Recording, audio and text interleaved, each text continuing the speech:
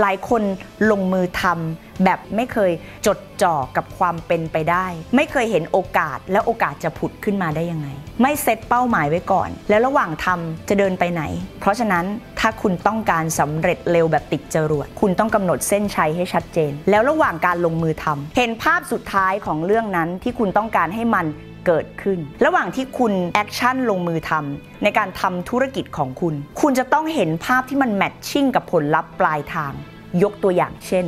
ถ้าคุณต้องการส่งออกสินค้าไปต่างประเทศ ปลายทางคือคุณต้องเห็นภาพสินค้าของคุณขึ้นเรือไปลำใหญ่เลย หรือสินค้าของคุณ ไปอยู่ที่ประเทศจีนแล้วไปอยู่ที่ยุโรปแล้ว เห็นภาพแบบนี้ก่อนนะ เสร็จแล้วคุณก็ต้องแมทชิ่งกับผลลัพธ์ คุณเห็นภาพมีคนติดต่อ ขอเอาสินค้าไปวางขายที่ประเทศจีน หรือคุณเห็นคนที่เข้ามาติดต่อ